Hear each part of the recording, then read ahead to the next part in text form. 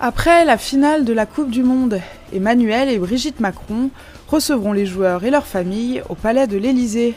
D'après le Figaro, le rendez-vous est pris au lundi 16 juillet dès 18h30.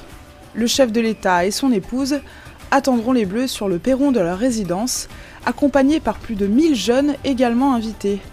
Parmi eux, des recrues issues des clubs de football dans lesquels les Bleus ont fait leur classe. Quelques champions du monde 98 devraient être également présents aux côtés de médaillés olympiques et paralympiques français. Le président échangera avec ses invités, puis le recevra pour une célébration dans les jardins du château. Lors de la finale, Emmanuel Macron avait invité quelques personnalités à assister au match dans le stade de Loujniki à Moscou. À ses côtés, dans les tribunes, les joueurs Dimitri Payet, Laurent Koscielny et le Ballon d'Or 1991 Jean-Pierre Papin. Un militaire français blessé en opération et le jeune Yvelinois de 12 ans Yannel ont fait également partie de la délégation présidentielle.